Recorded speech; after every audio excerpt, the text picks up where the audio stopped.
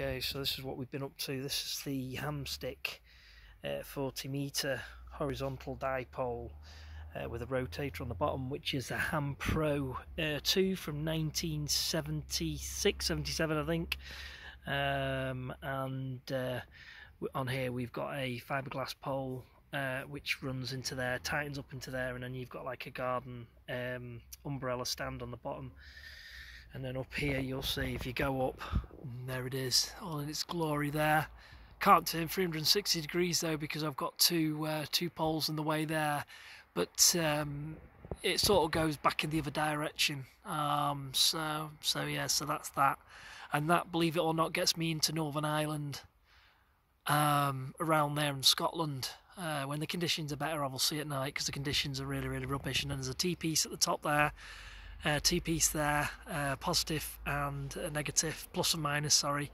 Uh, screw them in and then move these uh, both uh, one at one at a time um, and get the SW, uh, SWR down the best you can.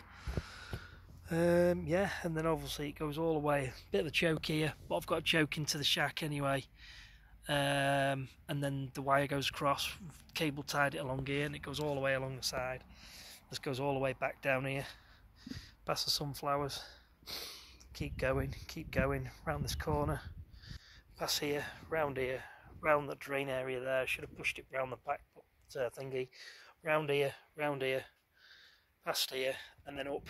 And then obviously it's all nice and tidy.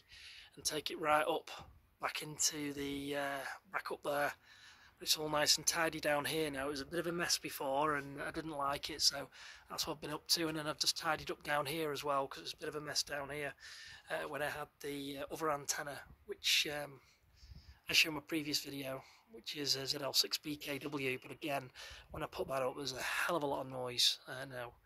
Uh, from it and then there it is from the distance that's what it looks like It's only around about I would say don't know. Um, how high would you say that is? I well, obviously that's uh, seven meters. That one there. Um, so we're going to go about six, maybe five and a half, six meters. Could be five meters actually, not six, because I know that's seven there. And it's to about there. So I can't really can't really say. I've not really measured it, but I, I think it's probably around about five and a half.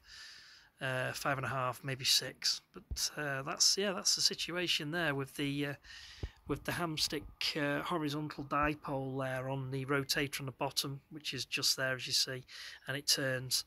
Um, so yeah, so uh, hopefully that explains all the information. Thanks very much. Uh, 2E1FUE signing off. Cheers.